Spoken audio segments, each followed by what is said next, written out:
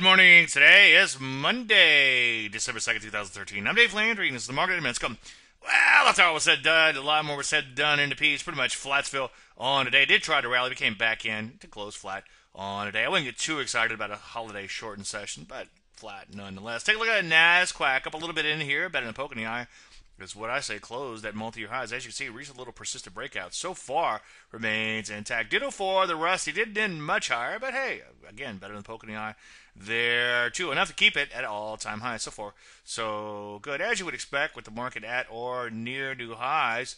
Most areas, as you can see, look pretty good in here. Even some of these areas that have been kind of sideways, like the semis, have come back a little bit as of late. So overall, things are looking pretty good. So should we rush out and buy?